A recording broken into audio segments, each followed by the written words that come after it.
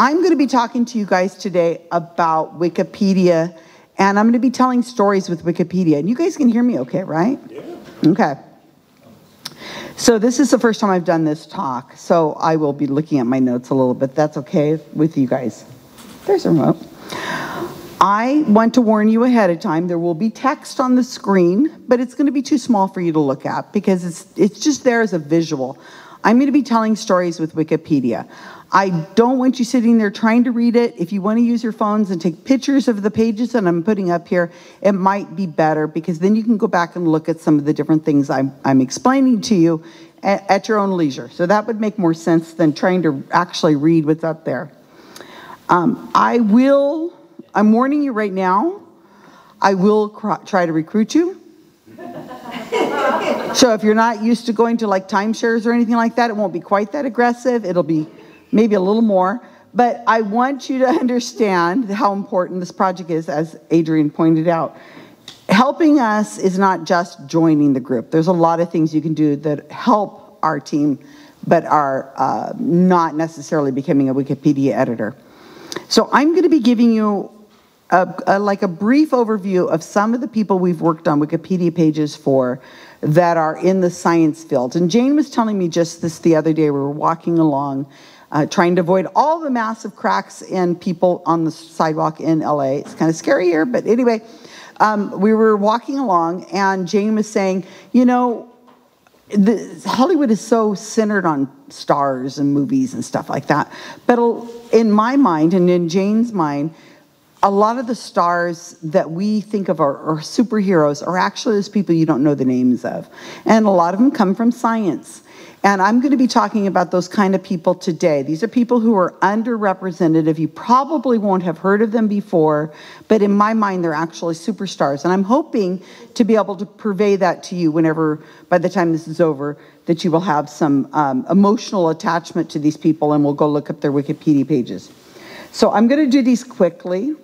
Um, and the first one I'm going to talk about again, you can take a picture of the slide so you can go back and look at it later, but you don't have don't read it right now. I'm just going to give a brief overview. These are all Wikipedia pages that my team has worked on over the years.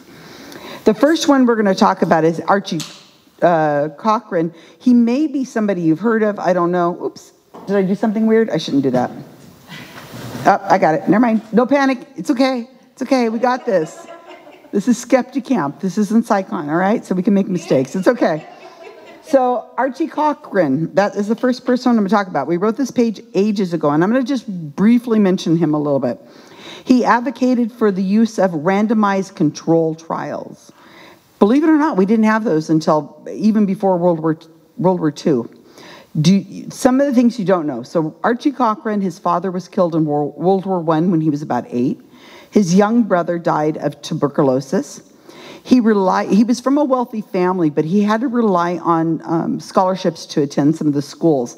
And his sister and he suffered from this nervous uh, disorder, and I'm going to not pronounce it right, it's called porphyria, P O R P H Y R I A.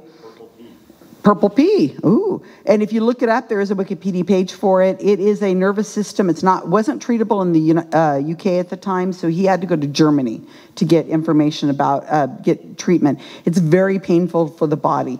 So this man just soldiered through. Um, he went to Germany in 1931. You guys remembering what happened right right after that? He joined the British Army in World War II. He was captured. He worked as a doctor in a prisoner of war camps where he discovered that much of medicine had no evidence to justify its use. Can you imagine? They just did stuff and hoped, I guess, that it would work, or relied on antidotes, or, or I don't know what else.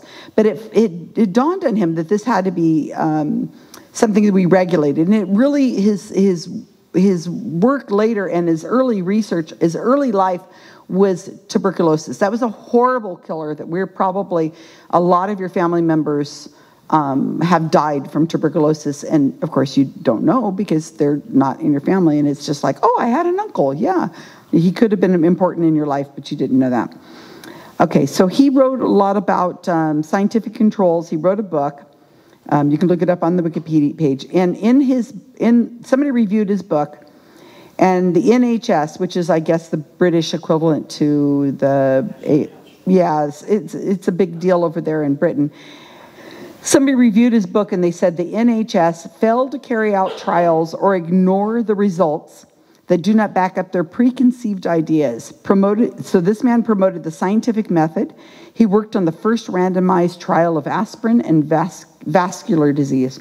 And we know him now as the father of evidence based medicine. So, this man, Archie Cochrane, you probably never heard of before, is one of the reasons why we are allowed to live now because the, the science that we're doing in medicine is actually controlled and has scientific basis, and there's proof that the stuff you're getting works. And uh, amazing person. So I'm going to show you if this works right. Yes, I think it will.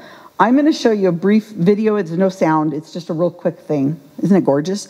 It's a cow in the dark, and this it's a dark cow. It's very very black, and it's in a it's in a total eclipse. Okay. I think it works. Oh, well that worked. No, that doesn't it. Is it? I, I don't know. Pretend the screen is moving. Okay, here we go. Button pushed. Button pushed. There we go. Here's a button. I see it. I push it. Push button. Okay. This is the Wikipedia page before GSOW was involved. And what you're seeing here, it's moving, so that's good, is the Wikipedia page for Archie Cochrane before our team was involved. And just take a quick look. It's just a visual. You can see there's only so many citations there. Now, and red font is bad. We don't like red font. So here is the next. No, here it comes. It'll come up right now. Okay, here's after the Guerrilla Skeptics were involved, the dirty mole rats. Here's afterwards. This is his Wikipedia page. No photo, because nobody's uploaded one for me. I hate it when they don't do that, but whatever. Here's the Wikipedia page now. And you can see it is quite full. All the information I gave you today was off of that Wikipedia page. So it's got a lot more content. What we try to do is we try to humanize the people, especially scientists who tend to look like they're kind of, you know, above everything. We want to make sure that they're humanized a lot. So you can see a huge difference in the Wikipedia page, uh, the, the way it's there. The next person I'm going to talk about briefly is Anton Alton Lemon. Nobody's probably heard of this person, but it is important because this man was a social worker, civil rights activist. He was in the U.S. Army. He was a member of the ACLU and the A, uh, NAACP. He, he worked for the Department of Housing, the Department of Energy. He used the term ethical humanism. Uh, the FFRF, which is uh, Freedom from Religion Foundation, uh, gave him the award First Amendment Hero. He was the lead plaintiff in Lemon versus Kurtzman. You've heard of the Lemon Law, right? That's where it's coming from. So in 1971, uh, tax funds were paid to parochial schools. You, your, your tax dollars went right to a parochial school until this man got involved. So he was able to change it with this law, um, Lemon versus Kurtzman, and that's why our tax dollars don't directly go to parochial schools in the United States anymore. 30 years after the decision, he stated he was displeased at the erosion of separation of church and state. You guys may be aware of that a little bit. If you guys have been to CSICon, and I highly encourage you to come to CSICon, um, also we can, we can reason that Adrian's having up in Calgary that it's going to be happening May the 4th.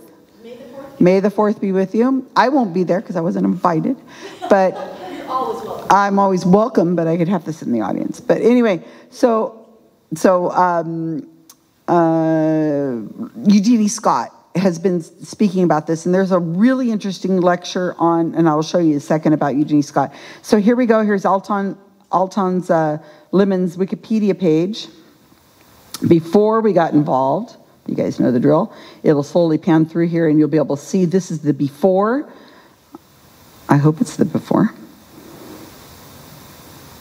It looks pretty good. It actually looks like the after. Let's see. It has 14 citations on there. So let's see if the after is, if I, make sure I got these not backwards. She says, I'm joining, I'm joining up. Oh, I think it's on the next slide. So that must have been the after. Let's see. Here, okay, so I hope you were paying attention. Here's the, guess I should. You know, I got here and I thought I'm going to have plenty of time to go over my slides and practice, but no, I'm in a house with these these three other women, and it's just it's just constant talking, and and and uh, uh, we just talk all the time. Oh, I think that this is the whole screen, pretty much. I think, if I'm not mistaken, I think this is the the Wikipedia pages existed before. So here's here's uh, Skeptical Inquirer, um, CSICon Skeptical Inquirer has not come out with the video of Eugenie Scott at CSICon last year. So this is a, a screenshot of Rob Palmer. We all know the well-known skeptic. Um, he is interviewing Eugenie Scott. And Eugenie Scott, one of the best talks at CSICon this last year was her talking about how the lemon law is starting to erode. And there's a, there's a lot of people who are ready and willing and ready to start creationism in the schools again, putting in uh, the Ten Commandments, prayer in school. It's really close to starting. Um, it, you'll start seeing it. It's happening all over the place now. So I check her out. Next one I want to talk about is Kendrick Frazier. He is, in fact, that's wonderful because the magazines that were brought for Skeptical Inquirer feature him. He's a dear friend, wonderful person, just a, one of the sweetest guys I ever met. He was a science writer. He was the editor of Skeptical Inquirer forever.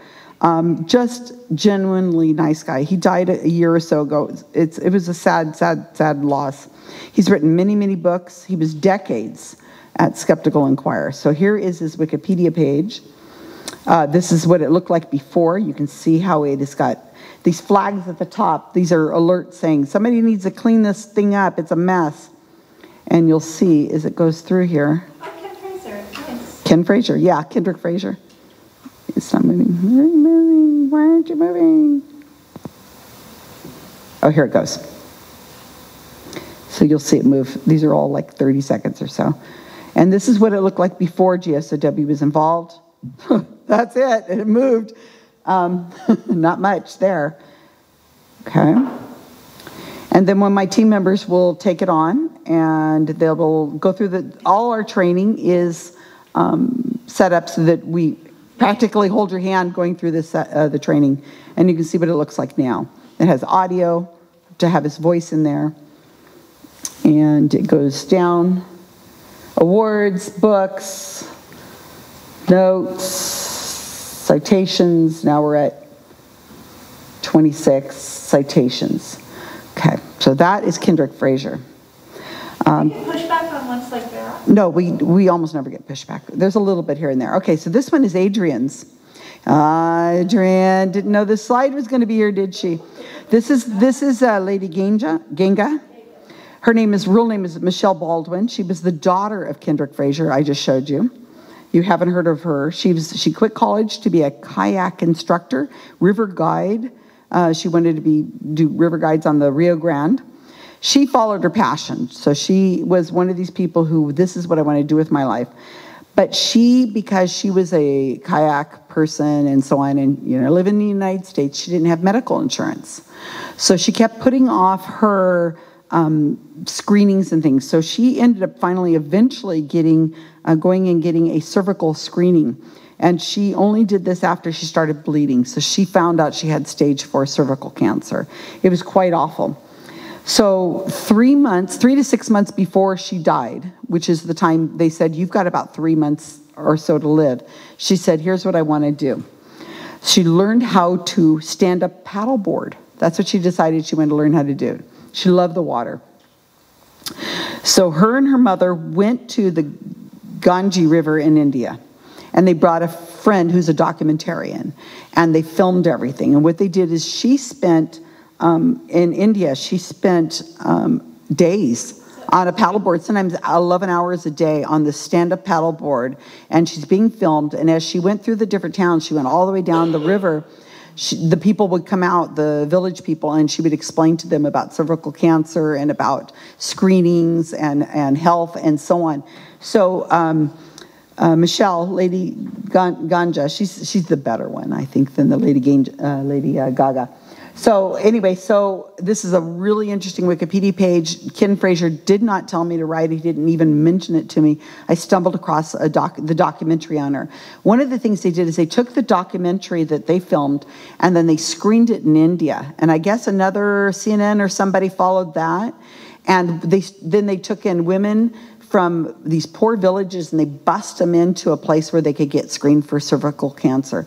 And one woman there turns out she was in the early stages of cervical cancer. And so they saved her life because she would never have ever have gotten treatment at all. And she had a young son and it was very emotional and it was just really incredible. So I asked, um, I stumbled across that documentary and I reached out to Adrienne and I said, You're the person to take this on. And she wrote this page and you cried through a good part, portion of the such an emotional thing. She was a Buddhist.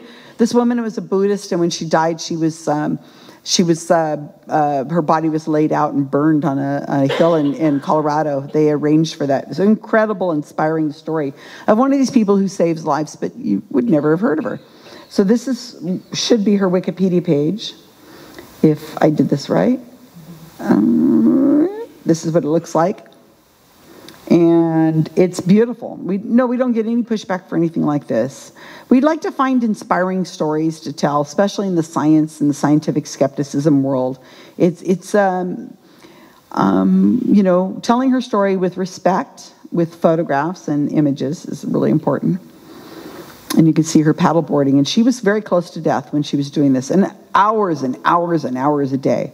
And it was it was um, something she really was inspired to do. And you can see lots of citations. And after we wrote it, then we reached out to Ken and his wife and uh, Ruth and told them what we did. And they were just like, oh my God, I can't believe you did this. This is so amazing. You did this um, for our daughter's history. Yeah, Wendy? When, um, how do you find the citations? We can't write a Wikipedia page without citations. Google search. It, it would, can, is there like? There's a picture of her and, and some of the women, and some of the people walking in. You- I'll show you when you get your training started, Wendy. I'll. Okay, I'm about halfway through, so I think I'm okay on time. I have, like I said, I hadn't timed this. Okay, this next, mhm. so this next person is Creswell Eastman. Again, somebody you've never heard of before. He's a clinical professor of medicine at Sydney University and Medical School. Uh, public health projects, elimination iodine deficiency. We were talking about iodine yesterday at lunch, and I said that'll become inform- uh, that'll become something important afterwards. So what this man had uh, learned is that in lots of the world, iodine is not a part of the uh, diet, regular diet of people. And it's very important to have iodine um, in for people who are pregnant. And iodine, not having iodine in the development of a baby is going to have the child have learning problems. It's like, like lead pipe kind of stuff, you know, having lead ingested in your body. It's very dangerous. It brings down the, the the learning uh, abilities of children. It's it, and in undeveloped worlds, parts of the world, you know, or areas of the world that are not have the the health care that some places do. This is a big deal. So this man travels all over the world. He goes and he speaks to people and he and he advocates for iodine. And um, he says that the average person only needs a teaspoon of iodine over their life. But during pregnancy, it's very important that you have to get it, especially when you're lactating and and um, so on. So this man is been called the man who saved a million brains. So you've never heard of Creswell Eastwood? This is a Wikipedia page that did not exist until my team member got active and said, I have, I have many Australians that are on our team because um, I'm on the Skeptic Zone, that, which is an Australian podcast. I'm in there and I've been asked to speak multiple times in Australia and New Zealand. So a lot of my editors come from there. Outside of the United States, most of my editors are Australian. So we got a lot of Australian pages we've done work on. This guy was extremely notable. Nobody had ever written a Wikipedia page until one of my editors, who focuses on Australian sci- scientists, wrote this Wikipedia page for him. You can see lots of photos. Here he is interacting with children all over the world, Vietnam, um, uh, Aboriginal children, all kinds of places you, you, you wouldn't even believe where this man has been able to do. This is all recent. I believe this man is still alive. So you can see down here the citations. Lots of citations existed, but nobody wrote the Wikipedia page. Nobody's in charge of Wikipedia, by the way, or very few people. And I am not running Wikipedia, contrary to what the UFO world seems to think. Um, I am not, um, but um, look at this guy. I'm over. I'm busy approving edits right now. okay. So look at this guy. He didn't have a Wikipedia page. I'm amazed at the people who don't have Wikipedia pages. It's incredible. All right. So Stanley Plotkin, I've talked about years ago. He's wonderful. This man is still alive. Um, uh, the pandemic really, before the pandemic, we didn't know about him. I don't know, everybody know who Paul Offit is? Very famous uh, man in our community who became way more famous. And gosh, the hate I get, this guy has to have bodyguards with him because he is in so much hate. People, um, Paul Offit uh, was with, uh, served on a lot of the committees that, um, somebody tell me his name, that we learned the name of the guy who's in charge of our vaccines. What's his name? Fauci, thank you, thank you very much. Yeah, Fauci. He's on the. This guy helps. Uh, Paul Offit helps decide what what fa- uh, vaccines we're going to be getting with the flu each year and and all that stuff. And he's instrumental. So Paul Offit is a wonderful science writer, and he was very actively promoting Stanley Plotkin, who's a dear friend of his, and um, like trained him. So Stanley Plotkin um, has. Um, I, am just going to throw out there. Anybody here have anybody who's died of rubella? You know, German measles. Know anybody affected by German measles? Okay. How about rabies? Rotavirus? No. There's a good reason why you guys have had no effect with that is because Stanley Plotkin is instrumental in developing the rabies vaccine, rotavirus vaccine, uh, German measles. That's part of the reason why we don't have those epidemics anymore. I think we're all old enough that we grew up in a time when nobody questioned the vaccine. When they said, get a vaccine, you've got your vaccine. Until we got social media. And I grew up in Florida, you couldn't go to school until you got your vaccine. Right, and so it kind of eradicated it, but because of people like uh, Stanley Plotkin, um, he is also instrumental in developing vaccines to fight pneumonia, mononucleosis, that was a big deal. Um, another one called CMV that I'm not going to even try to pronounce it leads leads to deafness and and walking difficulties in people with babies. You know that they have to give it to them young. Plotkin wanted to go into the Air Force. This is the thing. He wanted to learn to fly, but instead he decided to get into epidemi- epidemiology and virology, and we're we you know we're better for it. Um, he saved millions of lives, and we don't even know it because he saved these lives, and we're, we're not aware of it. I mean, how would we know? We just we don't know that person who could be sitting at that table right there, or the, or whatever. Um, at the age of 74, I love this. We have this on the Wikipedia page. At the age of 74, he learned to fly a plane. he said, "I'm gonna learn this." He's about 90 years old now. When we told Paul Offit that we had written the Wikipedia page for um, Stanley Plotkin, he reached out to Plotkin, and, and Stanley responded. He said that as I approach the end of my career, it's nice to know I did something useful. He told, he told us that. And so here's the Wikipedia page before. This is the Wikipedia page as it existed before my team uh, wrote it. It's almost a non scroller. In other words, you don't need to scroll, it's all there. And then after my team member got, and we write in eh, languages outside of English. So 45% of all the work we do is in languages outside of English. And we've written this in Polish and, and multiple different other Wikipedia languages um, translated it. So you can see now he has a much more respectable Wikipedia page. The respect this man uh, uh, definitely deserves. And I'm almost done, so hang in there. Wait, wait, wait, you're not done yet. No, I know I'm not done. Um, I just wanted to mention that this past week, there was an article in the New York Times about measles. Mm-hmm. I, I know I made a joke about measles, but here's the, um, um, the relevant part was that they quoted, um, Dr. Offit. And, the- and, uh, and, there- and it was talking about how getting vaccinate, vaccination, it almost, it's not hundred percent, but it almost makes it impossible to catch measles. Well, yeah, it's a highly contagious disease. You don't even have to be in the room. It could be three hours. Somebody had measles and, and it's still hanging out there. It's horrible. Um, I had measles, they suck. yeah, but you lived. I live. Yeah, so I'm not lying. so yeah, you're yeah, you weren't you're not sterile. Uh, maybe now. Okay, but wow, wow, nothing personal or anything, but uh, I doubt you're going to get pregnant this week. Okay, so this is almost the last one. This one is for Ross. Uh, this is a non-scientist. He has touched many of the people in this room, and you don't probably aren't even aware that that, that he touched you. He's written over hundred children books on many topics on science, history, government, ghosts, UFOs, cryptids, and on Facebook, I asked people. I said, because Brian Dunning had, had been saying um, the stories, children's books that brought us to science, those passions that we had as children growing up that we got those scholarship, um, scholastic books. And he wrote a lot of those. And they were, they, you don't realize it until now as an adult to go back and look. He says, These are stories about hauntings and ghosts. Aren't they fun? They're not real, but they're fun. Let me tell you the story. And he gives you a creepy way of doing it. So, anyway, so I asked on Facebook if anybody had been inspired by books as children, and Ross had responded, and he put pictures of, of a lot of the books, and there were Daniel Cohen's um, books.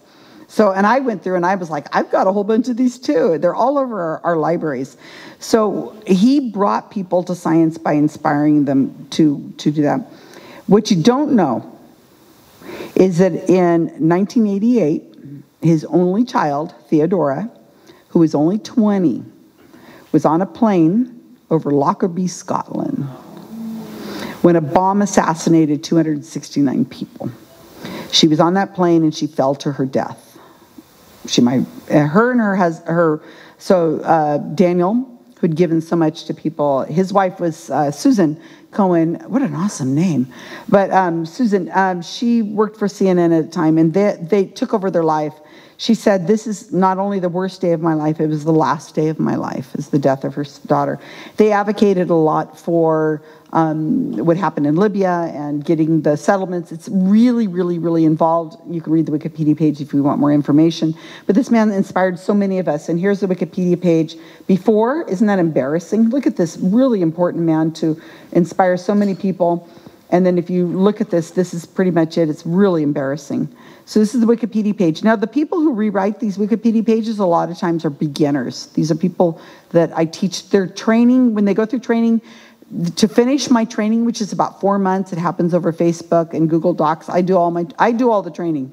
When it, when we're done, they have to rewrite a Wikipedia page. So this is one of those pages that was rewritten by one of the trainees, and and you'll see it right now. So here it comes. We like to focus on biographies, they're really interesting to do. And, and it talks about the Pan Am Flight 103 that um, fell over, uh, blew up over Lockerbie. She was assassinated. And this is a much better page. I think that's my last one. Let me see. Oh, here's the here's the article I wrote about it and that I was talking about with Ross. And Ross is quoted, Ross, you're quoted in this article. And this talks about a lot of the books he wrote and how they inspired a lot of us. So I'm going to, I'm about at the end. So what I'm going to do is I'm going to talk about some numbers really quick. So not everybody could be in my GSOW project. It's not for everybody. I own you once you you uh, work, and a lot of people aren't into that. So, um, uh, well, it is a very intense training. It's not hard. It's just it's like taking a cooking class or something. You, you, there's process. You got, when you, when you finish with us, you were an awesome Wikipedia editor. You, you were in a cabal. We put you in a secret cabal. You have full community. Everybody hates you except for maybe the people in this room.